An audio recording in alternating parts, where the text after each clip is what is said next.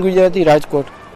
એક તરફ કોરોના હાહાકાર મચાવી રહ્યો છે, ત્યારે જ ભાવનગરમાં મચ્છરનો ઉપદ્રવ વધતા શહેરીજનોમાં ત્રાહીમામ જોવા મળી રહ્યા છે.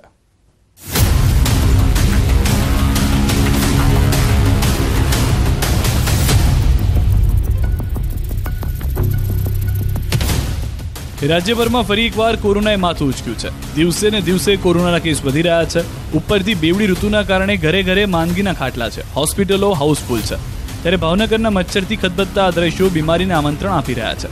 છેલ્લા ઘણા સમયથી ભાવનગરના કંસારા તેમજ ગઢીચીના ગંદા ખુલ્લા પાણીને કારણે મચ્છરનો ઉપદ્રવ ખૂબ જ વધી ગયો છે. જેથી શહેરના નવ જેટલા વોર્ડના લોકો મચ્છરના ત્રાસથી એટલા ત્રાહિમામ પોકારી ઉઠ્યા છે.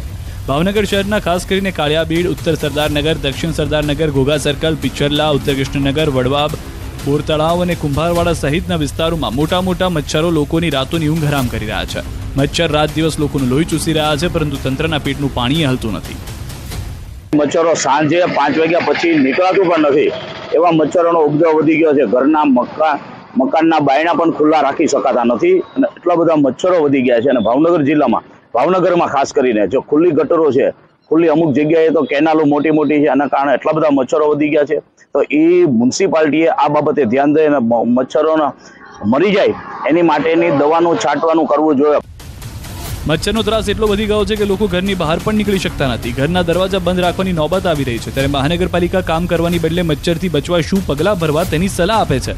ઉપરથી લિંક વર્કર ભરતી પણ મોડી કરતા લોકો મચ્છરથી તોબા પોકારી ઉઠ્યા છે. એ લોકો ઘરે ઘરે જઈને તાવના કેસો માટે સર્વે કરે છે. એમને જો જરૂર જણાય તો એમને આરોગ્ય કેન્દ્ર પર રિફર કરે છે. એમની સ્લાઇડ લેવામાં આવે છે. બીજું ઘરમાં જે પાત્રો પાણી ભરેલા એમને દેખાય તો એ પાત્રો ત્યાં સ્થળ પર જ તેઓ ખાલી કરી આપે છે. અને જે પાણી હોય છે, પીવાનું પાણી, ટાંકા હોય છે, એમાં દવા નાખવાની કામગીરી કરતા હોય છે. હાલ તો મહાનગરપાલિકાના બાકી ગંદકીના ગંજ અને મચ્છરના ત્રાસથી ભાવનગરમાં રોગચાળો ફાટી નીકળવાની દહેશત ફેલાઈ છે. Nitin Gohil, news eighteen Gujarati, Bhavnagar.